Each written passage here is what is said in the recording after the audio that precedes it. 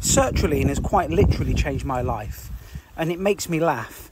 The hate and the stupid comments that I'm getting on some of the videos that we've put on the Pure Waffle podcast TikTok site talking about how much sertraline has changed my life. I get it. It doesn't work for everybody, but nor does penicillin. But can you not, as a human being, be happy for somebody that's been able to go from an anxiety stricken, overthinking worrier to somebody that's been able to control, focus on some goals, and change their life in a couple of years? Just go and read some of the nonsense on there. And this really does piss me off because I'm not paid by the medical council or the fucking big pharma.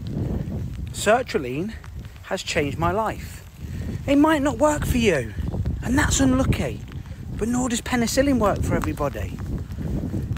If you can't see somebody being happier, better in whatever they're doing, even if it doesn't fit your worldview or your narrative, then you are more of a sheep than the people that you think that you're fighting against.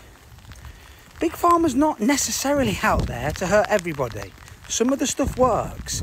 And yes, it's not good for everybody, but it has changed my life. Go and have a look over on the Pure Waffle podcast channel and see what you think some of the comments. What a bunch of dickheads.